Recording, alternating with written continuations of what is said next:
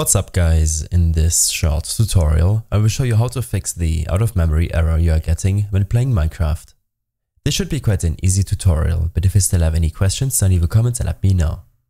This error usually occurs when there is an issue with your current Java install or version, or because there's a low amount of available RAM allocated to the game to utilize.